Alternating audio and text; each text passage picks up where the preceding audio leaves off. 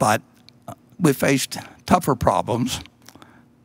And the American miracle, the American magic, has always prevailed, and it will do so again. And I would, I would like to take you through a little history uh, to essentially make my case that if you were to pick one time to be born and one place to be born, and you didn't know what your sex was going to be, you didn't know what your intelligence would be, you didn't know what your special talents or special deficiencies would be, that if you could do that one time, you would not pick 1720, you would not pick 1820, you would not pick 1920.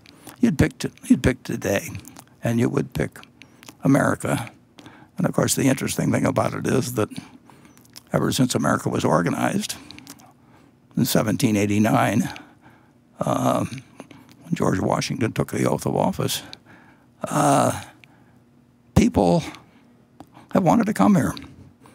Can you imagine that? You know, for, for 231 years, uh, there's always been people that have wanted to come here. Now, uh, my friend, uh, uh, I think has jumped the gun just a shade on putting up slide one, but I'm going to call from some slides as we go along.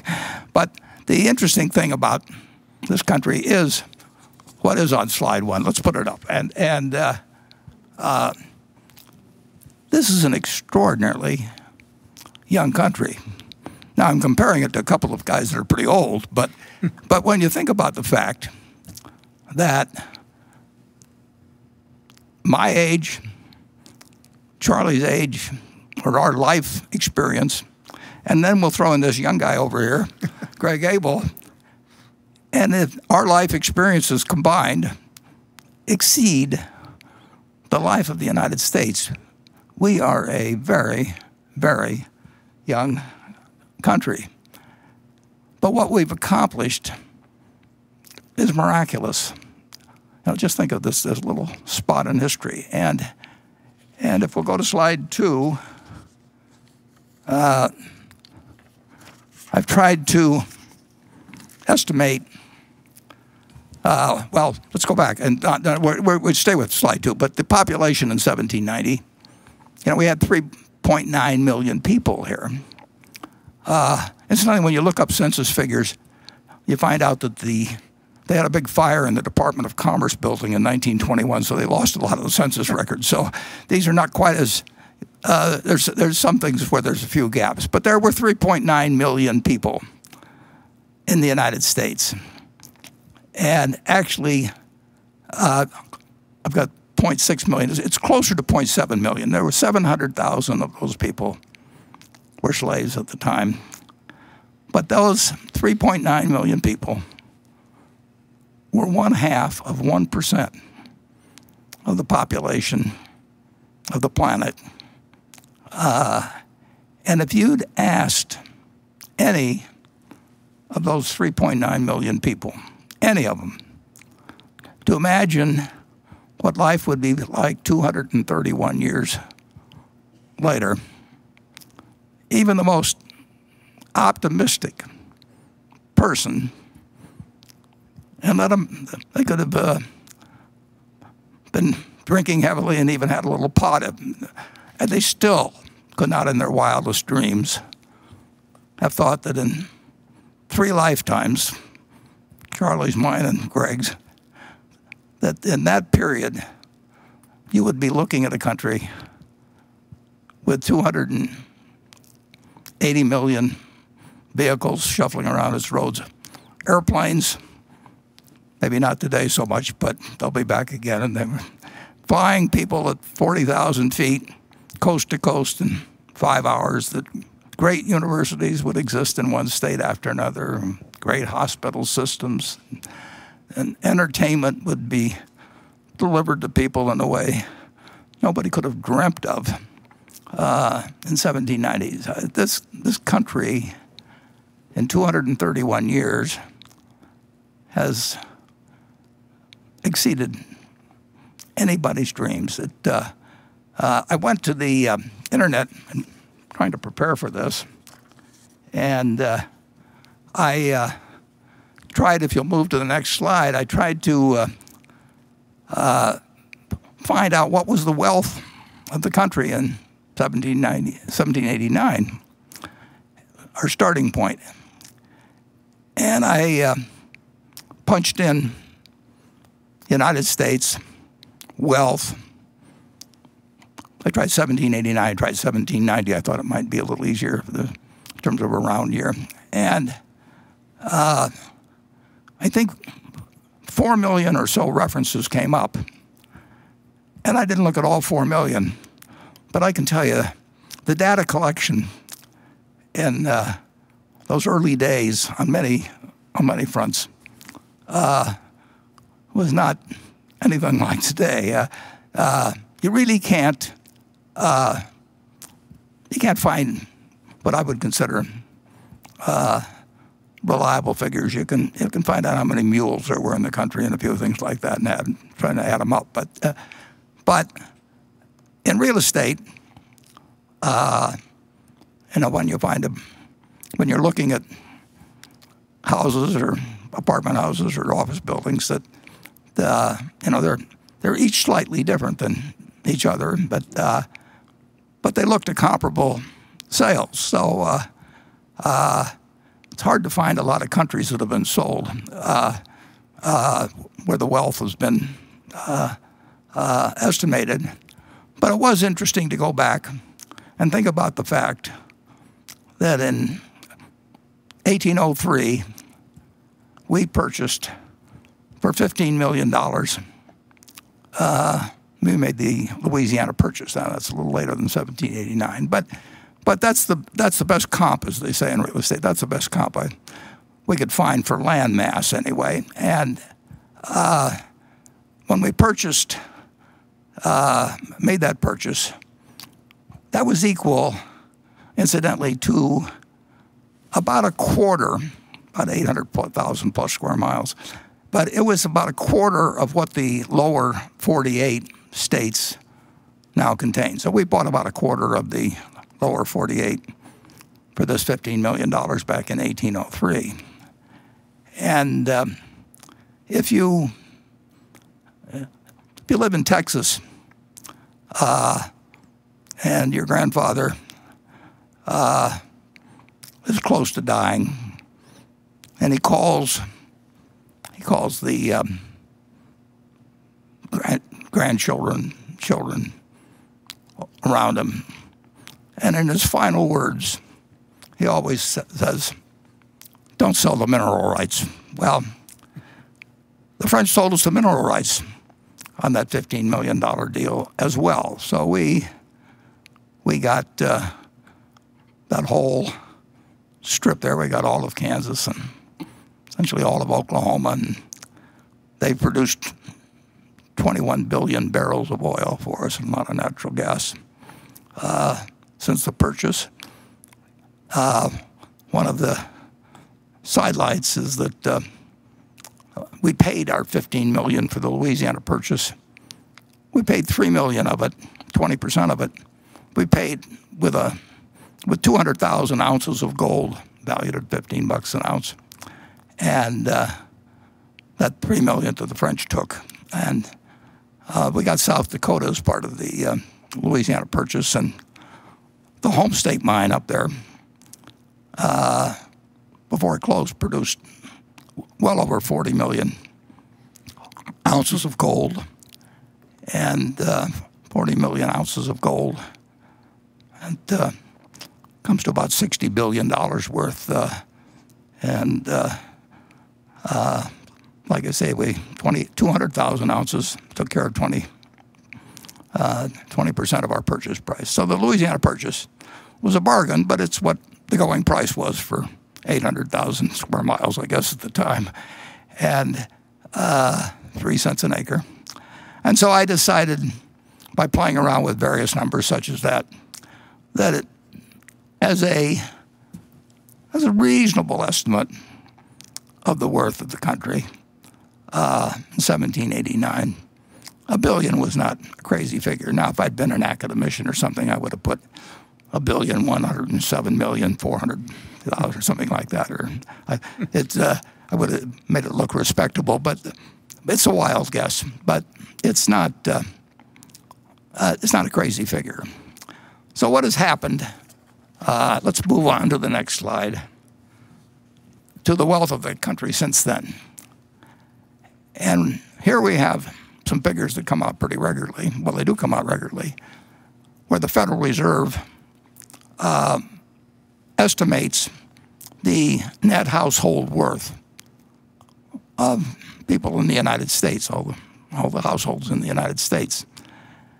And you can look these up and you'll, you'll see that you know, there's 30 trillion of stocks and, and uh, I think maybe single family homes, what other, there's 82 million or so owner occupied single families and maybe 45 million rental apartments and so on. So you start adding all these up and uh, the Federal Reserve tells us, and I invite you to look at the, the data, it's kind of interesting, that we now in the United States, 231 years later, we have 100 trillion, we have more than 100 trillion of household wealth, even though the stock market's gone down somewhat uh, uh, since the last quarterly report. Uh, so you say, well, uh, you know, we've had a lot of inflation and everything. Uh, we actually, in the United States, for the first half of our existence, roughly, we didn't really have that much inflation. Uh, we, we had inflationary periods and deflationary periods, but the general price level did not change that dramatically. But I will assume again for this calculation that that uh, uh, there's been 20 for one inflation. It's it's way less than that in many commodities, but but it's it, and it's very hard to uh, to measure and talk about equivalent uh, benefits from different kinds of products and so on and costs. But I, I think it's reasonable to say that the United States, in real terms, uh, has increased in wealth. That's something in the area of 5,000 for one which is really, it's mind-blowing, 5,000 for one in real terms in a country that had a half a percent of the, and a bunch of raw land. Uh, but a vision uh, that uh, to accomplish that in 231 years, uh, uh, there's just no denying that, that, that that's beyond, beyond what anybody could have dreamt earlier. But it was not done, and this is important because we've now hit a bump in the road. It was not done without some very, very serious bumps in the road. It was not 231 years of steady progress. And matter of fact, uh, we had been in um, the uh, in this birth of this country, we'd been what into it 72 years, and if we go to the next slide. Uh,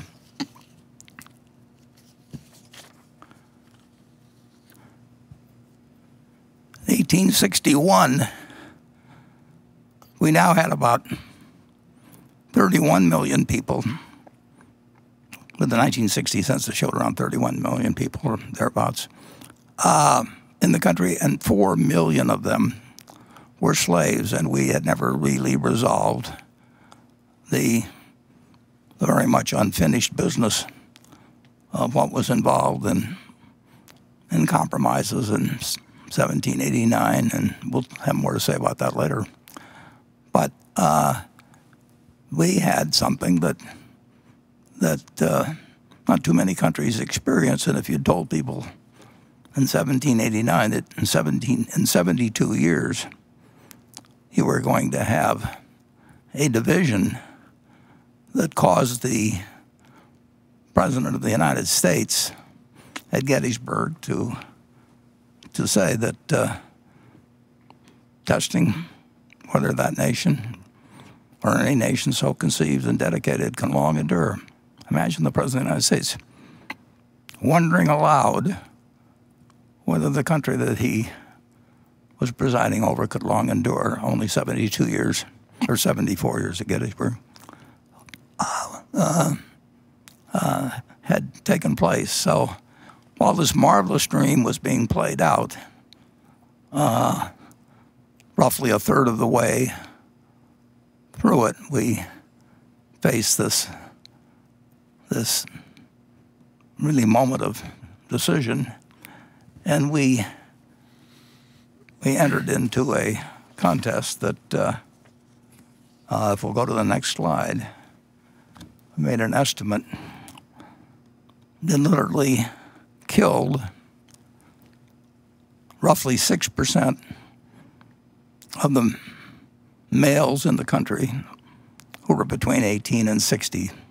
Uh, I'm assuming that there were more than 600,000 uh, deaths in the war, and uh, I think it's a reasonable estimate that that uh, that 18 to 60 group was males were by far the great proportion. So imagine 6% of your working prime age uh, males in a country are wiped out in four years. So when we look at the progress of this country and we think of our own problems now, uh, I just uh, ask you to ponder, and we'll move to the next slide. That would be equivalent today to having 4 billion males in that same age group similarly wiped out. Uh, uh, so that was one incredible interruption, which this country nevertheless uh, worked through while compiling this American dream that is uh, one of the wonders of the world, perhaps the wonder of the world in many senses. So uh, let's move on to the another crisis of a different sort that hit the country. And this, of course, is the 1929 crash, which led to the Great Depression. And um, here, um, the Dow Jones average, which we'll use through this, at that time, that's the one everybody paid attention to. Actually, the second most important average at that time, if you look at the papers, was the New York Times average, which has disappeared. And of course, the Standard & Poor's has uh, probably uh, regarded as a superior uh, yardstick. But the Dow Jones is a perfectly adequate yardstick. And on September 3rd, 1929, the Dow Jones average closed at 381.17, and people were very happy. And buying stocks on margin had worked wonderfully. And the Roaring Twenties had a good feeling to it with the auto coming of age and the day of air travel coming along and all kinds of new appliances and the telephone getting wider use, believe it or not. It uh, hadn't really uh, caught on that much uh, uh prior thereto, but the movies were coming on. The, it was a happy place. And then, of course, if we'll move to the next slide, we'll look at what happened in the couple of months after September 3rd. And the Dow Jones average uh, almost got cut in half. And that was pretty impressive until we had this recent situation where in, in a shorter period of time, we lost about a third. But the, the, uh, uh, the crash, uh, and there's a great book about it called The Great Crash by John Kenneth Galbraith. Uh, let me interject one little plug here.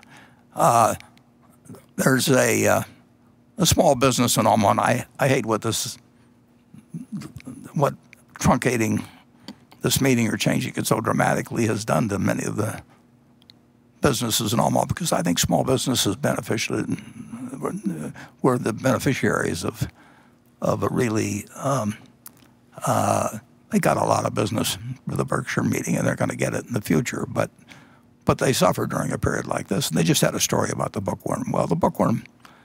If you buy any books that come out of uh, anything I recommend, uh, think about just putting bookworm, bookworm in Omaha, and, and uh, uh, the Great Crash is a wonderful book, and John Galbraith describes it.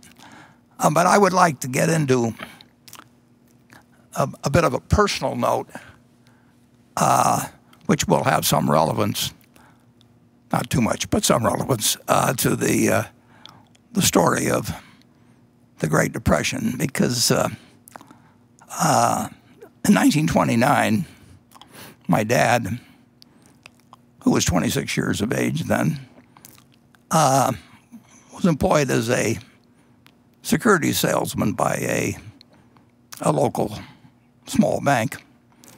And uh, he sold stocks and bonds, but he mostly he sold stocks. And when stocks fall 48%, and you were selling them to people a few months ago, uh, you really don't feel like going out and facing those same people. So I think my dad uh, probably elected to do as they say now, shelter in place, which means stay at home. And uh, uh, there really wasn't that much in our house. Uh, we, we, just had a small yard. It was wintertime anyway. My dad wouldn't have been puttering on the yard anyway. And there really wasn't, you know, television wasn't there. And, and, uh, uh, uh, and he and my mother got along very well. So under those conditions, uh, if you'll turn to the next slide, I was born about nine months later. So, at, but at that time, I was actually born on August 30th, but the stock market was closed that day, and so I'm using the previous day figures. But the it wasn't. Uh, I didn't notice at the time that the market was closed, but the stock market had actually recovered over 20 percent during that nine and a half month period or thereabouts. Uh, people did not think in the fall of 1930, they did not think they were in the great, uh, a Great Depression. They thought it was a recession very much like had occurred at least a dozen times, although not always when stock markets were important. But we'd had many recessions in the uh, in the United States over the time, and this did not look like it was something dramatically out of the ordinary. The, uh, but, and for a while, actually for about 10 days after my birth, uh, that view held on, and uh, the stock market actually managed to go up all of 1 or 2% there at, uh, in those 10 days. But that's the last day. Uh, well, from that point, if you'll turn to the next slide, the uh, stock market went from a level of 240 to 241, which was a noticeable decline because uh, if somebody had given me $1,000 on the day I was born and I'd bought stocks with it and bought the Dow average, my $1,000 would have become uh, $170 in in less than two years. And that is something that none of us ever, ever experienced. That uh, uh, we may have had it with one stock occasionally, but, but in terms of uh, having a broad range of America marked down 83% in two years and marked down 89% of the peak that was in September 3rd, 1929, uh, was extraordinary. And um, in that intervening period, less than one year after I was born, just slightly less than one year, my dad went to the bank where he worked and had his account. And of course, the bank had a sign on it closed. And uh, so he had no job.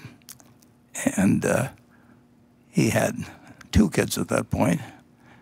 And uh, his father had a grocery store, but uh, Charlie and I both worked for my grandfather. Charlie worked there in 1940. I worked there in 1941, so we didn't know each other. But, but my grandfather said to my father that, uh, "Don't worry about your groceries." Howard, he says, "I'll just let your bill run." that was my grandfather. Was not exactly. Uh, he, he was he cared about his family, but he wasn't going to go crazy. Uh, and uh, uh, one of the things as I look back on that period is, uh, and I don't think economists generally like to give it that much of a point of importance, but but if we'd had the FDIC 10 years earlier, we the FDIC started on January 1st, 1934. It was part of the sweeping legislation that took place when Roosevelt came in. But if we'd had the FDIC, uh, we would have had a much, much different experience, I believe, in the in the Great Depression. People blame it on Smoot Smoot-Hawley, and they, I mean, they, they, uh, there's all kinds of things, and, and the margin requirements in 29, and all of those things entered into creating a recession. But if you have over 4,000 banks fail. That's 4,000 local experiences where people save and save and save and put their money away, and then someday they reach for it and it's gone. Uh, and that happens, you know, in all 48 states, and it happens to your neighbors and it happens to your relatives. Uh, it it has to have an effect on the psyche that's incredible. So it, uh, one very, very, very good thing that came out of the Depression, in my view, uh, is the FDIC. And uh, uh, it would have been a somewhat different world, I'm sure, if the bank failures hadn't just rolled across this country and, and, uh, and uh, with people that thought that they were savers found out that they had nothing uh, when they went there, and there was a sign that said closed. Uh, incidentally, the FDIC, I think very few people know this, but uh, or at least they don't appreciate it. But the FDIC has not cost the American taxpayer a dime. I mean, its expenses, inks, backed by the federal government and associated with the federal government. But now it holds $100 billion, and that consists of premiums that were paid in and investment income on the premiums, less the expenses and paying of all the losses. And think of the incredible amount of peace of mind that's, got, that's given to people that were not uh, uh, similarly uh, uh situated in, in when the Great Depression hit. So the Great Depression went on, and um, it lasted a very long time, but it, it lasted a lot longer in the minds of people than it did actually in its effects. World War II came along, and on sort of an involuntary manner, we adopted Keynesianism. We started running fiscal deficits, of course, that were absolutely huge and took our debt up to a percentage of GDP, which we've never reached, had never reached before uh, and never reached since.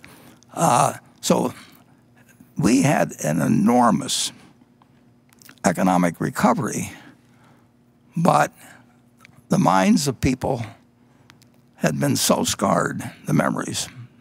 Parents told their children, 1929 became a symbol in people's minds. I mean, if you said 1929, it was like saying 1776 or 1492. I mean, everybody knew exactly what you were talking about. And it affected stock prices in a rather remarkable way to the point, if you'll change to the next slide, it was January 4th of 1951 that the kid who was born on August 30th in 1930 had finished college before the stock market got back to where it was uh, at that earlier time. So take the years from 1920, 1930, or 1929, really, to 1951, or take the year from my birth, 20 years, and bear in mind that uh, you know the country was only 140 years old when this started. That that's 20 years out of a, this amazing 231 year lifetime of our country that uh, was flat out, you know, a time of, for a long time of no economic growth and no feeling by people in terms about the wealth of the country, the, about what American economy was worth, what all these corporations that were doing far, far, far better than they were long ago. But it took all of that time to restore uh, in the market a price level uh, that was equal to uh, what it was when I was born 20 years earlier. So uh, if you think about the fact that we're enduring a few months, and we'll endure some many more months, but uh, and we don't know how it comes out. And people in the 30s didn't know how it was going to come out, but they endured, persevered, prospered, and uh, uh, the American miracle uh, continued. But it's interesting in that uh, I actually don't have a slide for the next one because last night I was thinking after all the slides had been prepared, I was actually thinking about this a little later, a little bit, and I remembered that uh, um, in 19, at the start of 1954, the stock market was, the Dow was only at about 280. Uh, and I remember 1954 because it was the best year I ever had in the stock market. And uh, uh, the Dow went from essentially uh, uh what two 280 or thereabouts at the start of the year to a little over 400 at the end of the year. And when it went to 400, as soon as it, went across 381, that famous figure from 1929, when it went to 400, uh, this will be hard for some of you to believe, but everybody wondered, is this 1929 all over again? And that seems a little far-fetched because it was a different country in 1954. But that was the common question, and it actually achieved uh, it, it, it, was, you know, it, it achieved such uh, a level of worry about whether we were about to jump off another cliff just because the 381 of 1929 had been succeeded, exceeded, that they held Senator Fulbright, Bill Fulbright of Arkansas, who became very famous later in terms of the Foreign Relations Committee, but he headed the Senate Banking Committee. And he called a special, uh, for a special investigation, and he called it the, uh, what do you call it, the stock market study. But it really, as you, if you read through it, he really was questioning whether we had built another house of cards again. And on his committee, it's interesting to see the Senate Finance Committee, uh, one of the members was uh, Prescott Bush, the uh, the father of George H.W. Bush, grandfather of George W. Bush, uh, uh, and had some illustrious names. And his committee, in March of 1955, with the Dow at 405, assembled 20 of the best minds in the United States to testify as to whether we were going crazy again because the market was at 400, the Dow was at 400, and we'd gotten in this incredible trouble before. But that was the mindset of the country. It's incredible. Uh, we didn't really believe America was what it was. And my boss, the reason I'm familiar with this thousand page book that I have here, I found it last night uh, in the library, never, uh, was that I was working in New York for one of the 20 people that was called down to testify before Senator Fulbright. And he testified right before Bill Martin, who was running the Federal Reserve, testified, and right after General Wood, was running Sears, uh, testified. Sears was very, very important then. And, and Bill Martin, of course, is the fellow that longest running chairman in the history of the Fed, and he's the one that gave the famous quote about the function of the Fed was to take away the punch bowls just when uh, the party started to get really warmed up. Uh, but Ben Graham, my boss, sent me over to the public library in New York and to gather some information for him. Something he could do in five minutes with a computer now, and I dug out something, and he went to testify. And uh, on page 545 of this book, I knew where to look. I didn't have to go through it all, but he uh, had a, the quote which I remember, and I remember because Ben Graham was the one of the three smartest people I've met in my life, and he was the dean of people in securities business. He wrote the classic security analysis book in 1934. He wrote the book that changed my life, The Intelligent Investor, in 1949. He was unbelievably smart. And when he testified with the Dow at 404, he had one line in there right toward the start in, in his written testimony, and he said, the stock market is high, looks high, it is high, but it's not as high as it looks. But he said it is high. And since that time, if we'll turn to the next slide, of course, we felt the American tailwind at full force, and and the Dow. Well, let's see, we uh, yeah, when the Dow was went down Friday, but, it, but when we made the slide, it was about 24,000. So uh, you're looking at a market today that has produced $100 for every dollar. All you did was had to believe in America and just buy a cross section of America. You didn't, you didn't have to read the Wall Street Journal. You didn't have to look up the price of your stock. You didn't have to pay a lot of money in fees to anybody. You just had to believe that the American miracle was intact. But you'd had this testing period between 1929 and, and uh, well, really, uh, certainly 1954 is indicated by what happened when it got back up to 380. You had this testing period, and uh, uh, people really they'd lost faith to some degree. They just didn't see the potential of what America could do. And we found that uh, that uh,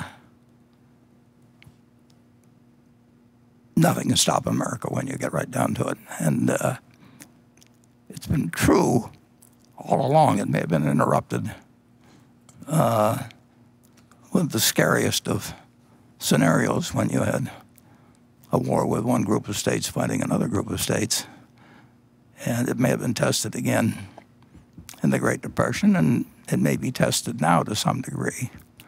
But in the end, the answer is never bet against America. And uh, uh, that, in my view, is as true today as it was in 1789, and even was true at the during the Civil War and the depths of the Depression. Now, I'm now about to say something that, that uh, and don't change the slide yet, but uh, I'm now about to say something that some of you will be tempted to argue with me about, but I would make the case that we are imperfect in a great, great, great many ways, but I would say, and if you'll put up the next slide, that we are now a better country as well as an incredibly more wealthy country than we were in 1789. We're far, far, far from what we should be, will be but we have gone dramatically in the right direction. Uh, it's interesting. We said in 1776, we said we hold these truths to be self-evident that all men are created equal, endowed by their art, endowed by their creative with certain unalienable rights. Among these are life, liberty, and pursuit of happiness. Uh, and yet, 14 years later, a year after we we really officially began the country in 1789, adopted a constitution, uh, we found that more than 15% of the people in the country were slaves. And we wrestled with that. But when you say the word self-evident, that sort of sounds like you're saying any damn fool can recognize that. And you certainly say, uh, you can argue maybe a little bit about life and the pursuit of happiness, but I don't see how in the world anybody can reconcile liberty with the idea that that 15% of the population was enslaved. And it took us a long time to at least partially correct that. Economy took a civil war. It took it took losing 6% of those people that uh, males that were between 18 and 60 years of age. Uh, took, but we've moved in the right direction. We've got a long ways to go, but we've moved in the right direction now. In addition, going back again to that 1776 statement that all men are created equal and uh, endowed by their creator, etc. Uh,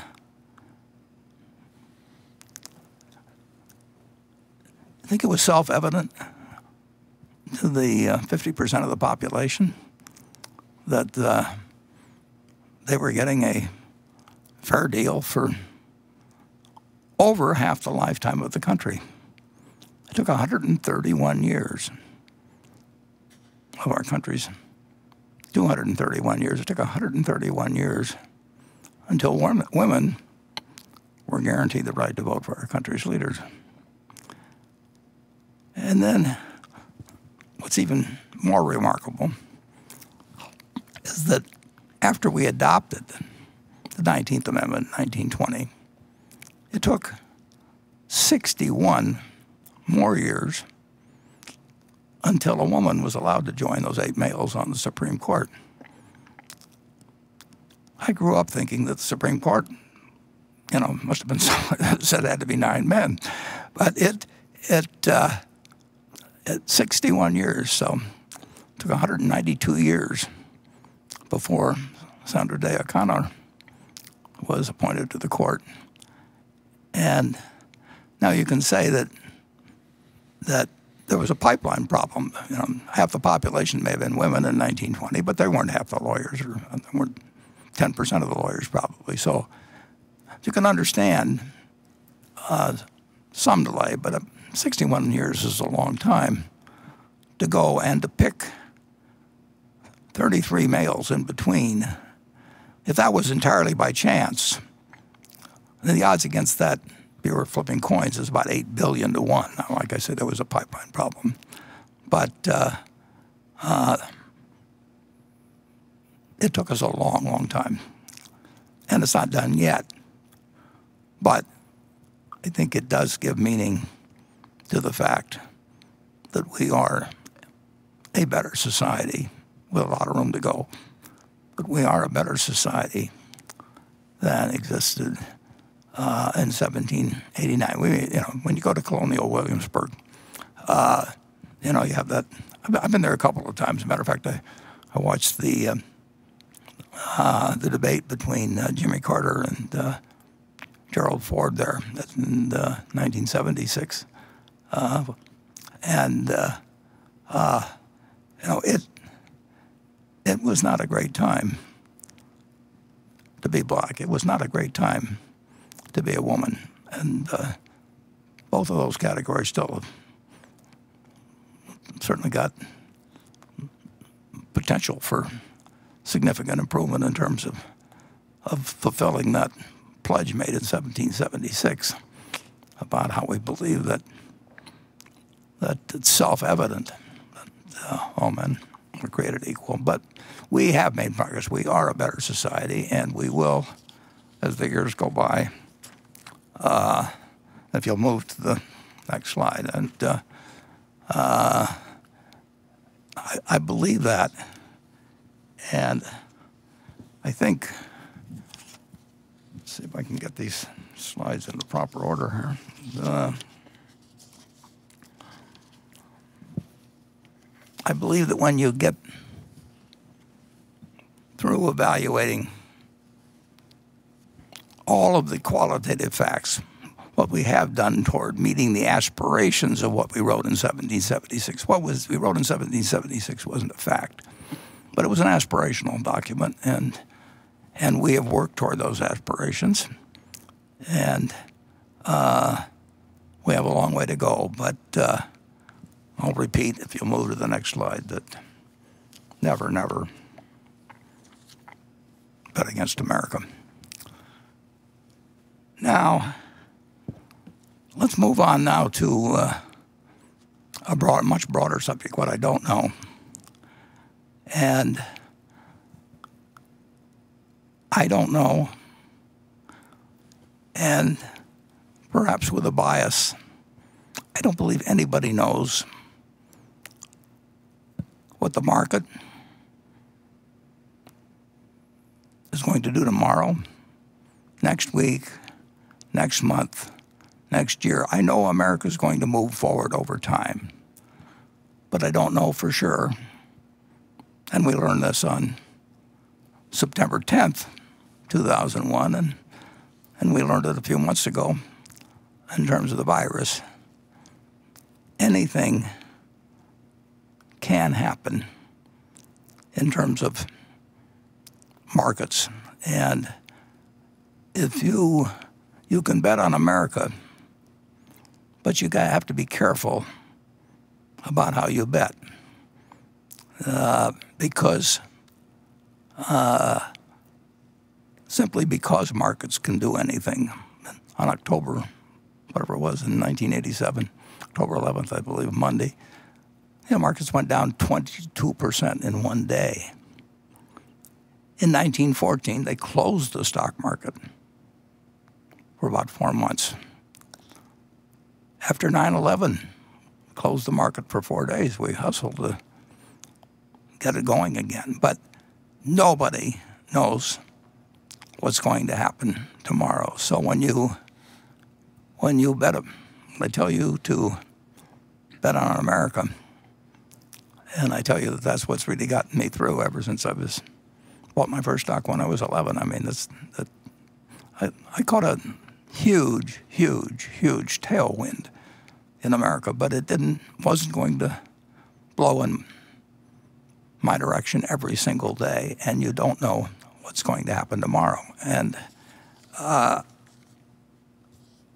I would like to, in the context of the present news, point out something you may find kind of interesting. Uh, uh, if you go to YouTube, uh, you'll find on June 17th of 2015, four plus years ago, you'll find Sam Nunn, who's one of the people I admire the most in the United States, in the world, enormous patriot, tremendous senator, and uh, he's carried on thankless work uh, since leaving the Senate, and I'd say heading something called the Nuclear Th Threat Initiative, which most of you haven't heard of, but but uh, I've been slightly involved in it. Sam Nunn founded that, and the Nuclear Threat Initiative simply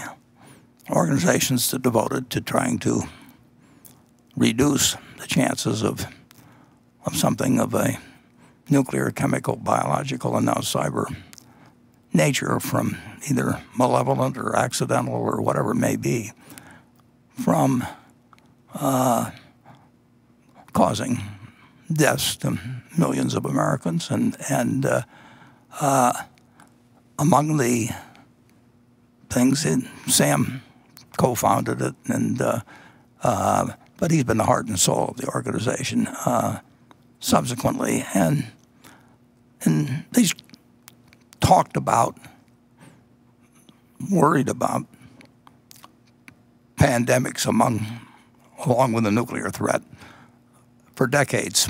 And he's participated in war games where they play out various scenario, scenario, scenarios, including malevolent, malevolent pandemics that could be started by the same kind of nut that sent the anthrax letters in uh, around 9/11, a little after.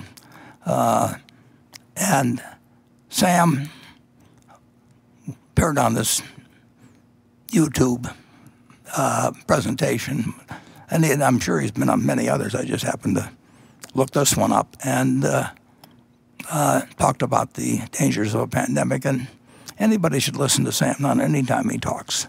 So I, uh, he said at that time, germs, germs don't have borders, which we've certainly learned in the last couple of months. And I, uh, when I clicked on YouTube, if you'll go to the next, uh, I found out that it had, recently it had 831 views, and this this was only a few days ago. I looked it up, and uh, I don't know whether most of those views have just been the last few days because or the last few months, I should say, because of the interest in pandemics. But uh, it is hard to think about things that haven't happened yet. And uh, uh, so we can experience, you know, when, when, when uh, something like the current pandemic happens, uh, uh, it's just, it's hard to factor that in. And that's why you never want to use borrowed money, and at least in my view,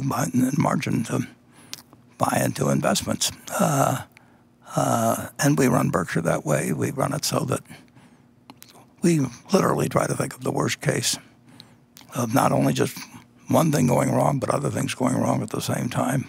Maybe partly caused by the first, but maybe independent even of the first. And, uh, you know, you learned in, in, I don't know what grade now, probably earlier than when I went to school, but fifth or sixth grade that anything, you can have any series of numbers times zero and just need one zero in there and the answer is zero. And, and uh, there's no reason to use borrowed money to participate in the American tailwind, but there's every other reason to participate. Now, I can't resist pointing out that in October of 2019, a large 300 page, got it right here, uh, book was brought out. And Johns Hopkins, one of the most respected institutions in the country, uh, the Nuclear Threat Initiative, NTI, and the intelligence group at The Economist collaborated to evaluate the problems of the worldwide preparedness for pandemics, essentially. And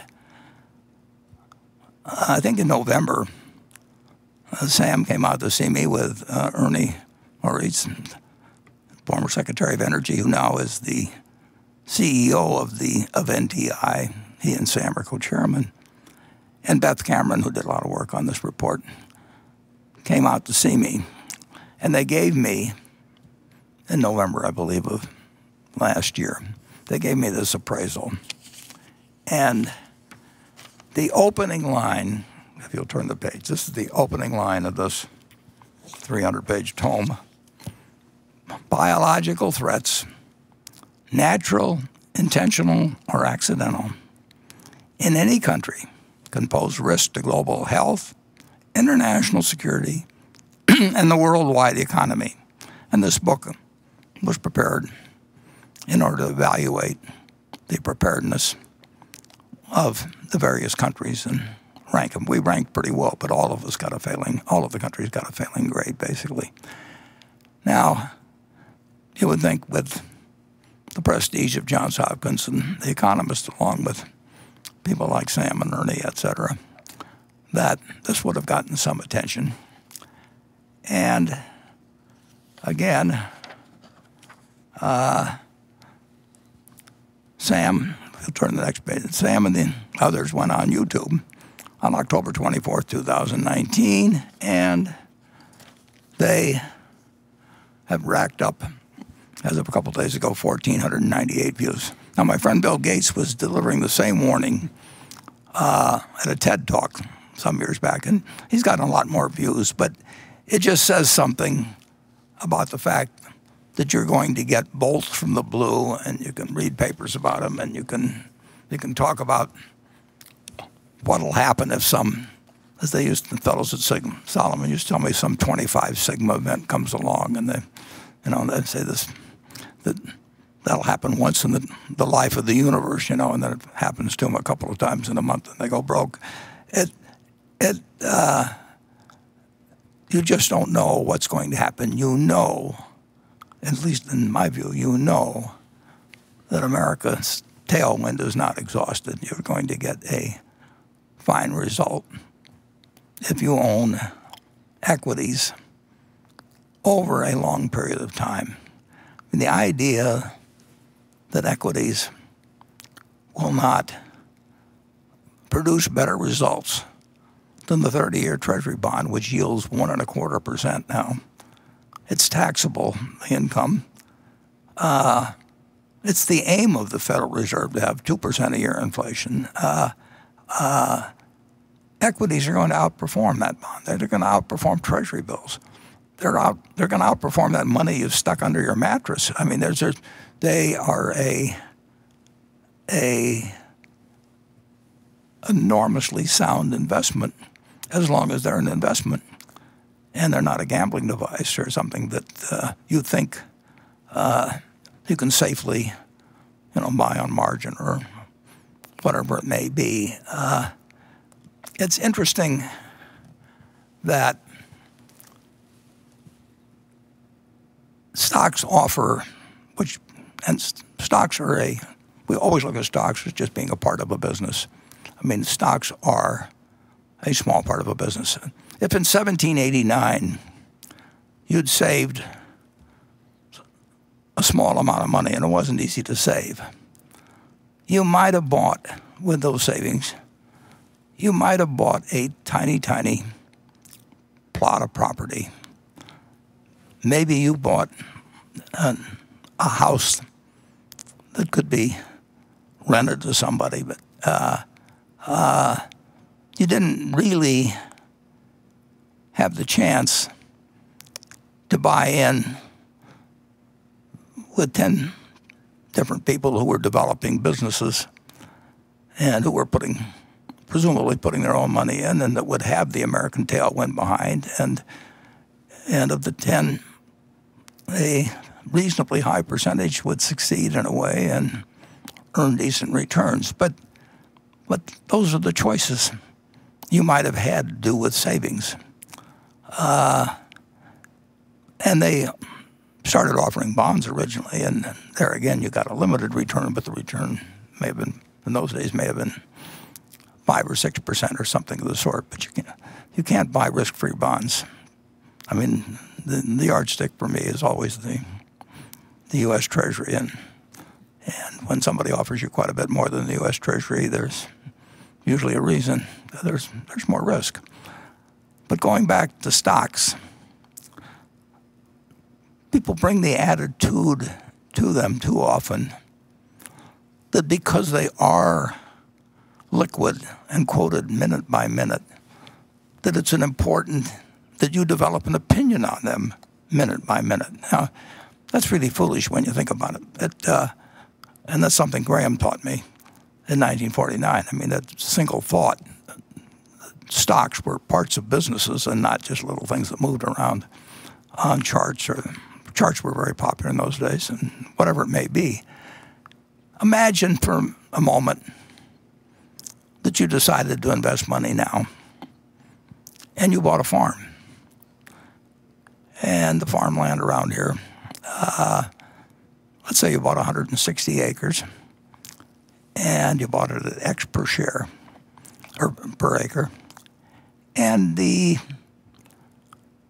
farmer next to you had 160 identical acres, same contour, you know, same same quality of soil quality. So it was it was identical. And that farmer next door to you uh, was a very peculiar character because every day that farmer with the identical farm said, I'll sell you my farm or I'll buy your farm at a certain price, which he would name. Now, that's a very obliging neighbor. I mean, that's got to be a plus to have a fellow like that with the next farm. Uh, you don't get that with farms. You get it with stocks. If you own a 100 shares of General Motors you know, on Monday morning, somebody will buy your 100 shares or sell you another 100 shares at exactly the same price, and that goes on you know, five days a week. Uh, uh, but just imagine if you had a farmer doing that. When you bought the farm, you looked to what the farm would produce. That was what went through your mind. You were saying to yourself, I'm paying X dollars per acre. I think I'll get so many bushels of corn or soybeans on average. Some years good, some years bad. Some years the price will be good, some years the price will be bad, etc. But you think about the potential of the farm. And now you get this idiot that uh, buys a farm next to you and and on top of that, he's sort of a manic depressive and drinks, maybe smokes a little pot. So his numbers just go all over the place. Uh, now, the only thing you have to do is to remember that this guy next door is there to serve you and not to instruct you. You bought the farm because you thought the farm was uh, had the potential. You don't really need a quote on it. Uh, you know, if you bought in with John D. Rockefeller or Andrew Carnegie, and, um, and uh, there were never any quotes. Well, there were quotes later on, but but basically, uh, you bought into the business, and that's what you're doing when you buy stocks. But you get this added advantage that you do have this neighbor who you're not obliged to listen to at all, who is going to give you a price every day, and he's going to have his ups and downs, and maybe he'll name a selling price that he'll buy at, in which case you sell if you want to. Uh, or maybe he'll name very low price and you'll, you'll buy his farm from him. Uh, but you don't have to. And you don't want to put yourself in a position to where, where you have to. So stocks have this enormous inherent advantage of people yelling out prices all the time to you. And many people turn that into a disadvantage. And of course, many people can profit in one way or another from telling telling you that they can tell you what this farmer is going to yell out tomorrow or next your neighboring farmer is going to yell out tomorrow price changes should be or you tell yourself that there should be this great difference but the truth is if you owned the businesses you liked prior to the virus arriving uh, uh, it changes prices and it changes uh, but Nobody's forcing you to sell. And if you really like the business and you like the management you're in with, and the business hasn't fundamentally changed, and I'll get to that a little when I report on Berkshire, uh, which I will soon, I promise. Uh, the uh, uh stocks have an enormous advantage, and you still can bet on America, but you can't bet unless you're willing and have an outlook uh, to independently decide that you want to own a cross section of America, because I don't think most people are in a position to pick single stocks. Uh, uh, a few maybe, but but on balance, I think people are much better off buying a cross section of America and just forgetting about it. If you'd done that, if I'd done that when I got out of college, It's all I had to do to make a 100 for one and then collect dividends on top of it, uh, which increased would increase substantially over time. The American tailwind is marvelous. American business represents, and it's going to have interruptions, and you're not going to foresee the interruptions, and you do not want to get yourself in a position where those interruptions can can affect you